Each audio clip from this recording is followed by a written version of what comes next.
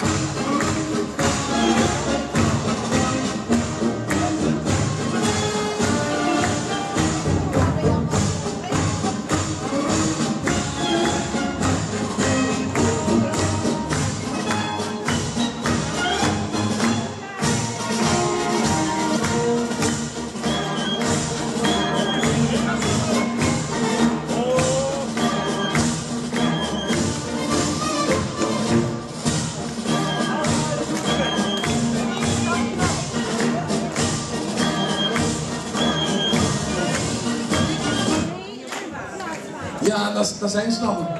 Prins de stad en jeugdprins Stan het feestbeest. Uh, welkom. Uh, Ron, wil jij nog iets zeggen? Ja, natuurlijk. De laatste dag, de eerste editie van de wat oudere carnaval. Zodat jullie ook niet vergeten. Feestbeest, Stan is erbij, dus dat gaat vanmiddag helemaal goed komen. We gaan er een leuke, leuke middag van maken met z'n.